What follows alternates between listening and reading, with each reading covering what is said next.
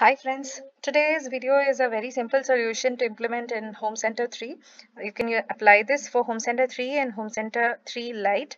Uh, here we are going to see how to send SMS from Home Center 3. For this I'm going to be using a quick app. Uh, I have tied up with a SMS gateway provider and uh, they provide me with uh, API based solutions, API based SMS triggering. So all I need is in this Home Center 3, I need to have internet on for these SMS to be triggered.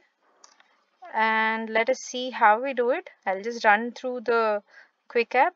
Um, here you can see that it is a generic device quick app. I have not created anything special here.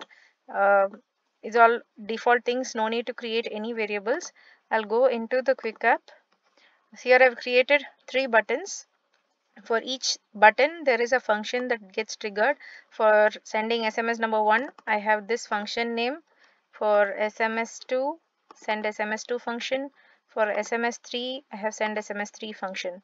And the quick app itself is very simple. These are all the background codes that are required for the function uh, quick app to function.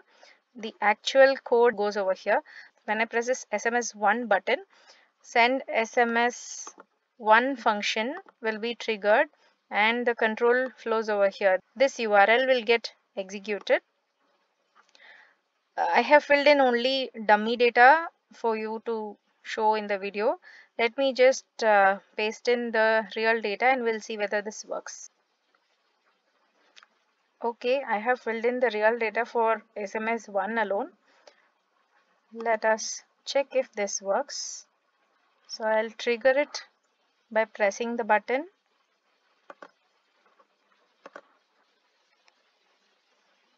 Yes I've got a message. Security alert. So you can use this for whatever solutions for some security purposes or even for um, comfort purposes etc etc just to give you some SMS updates from whatever happening what are the events happening in the home you can modify it accordingly. Hope you, this is useful to you. Thank you